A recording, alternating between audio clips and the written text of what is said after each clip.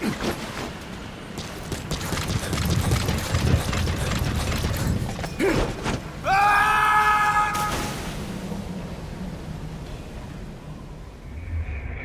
have you lost your mind?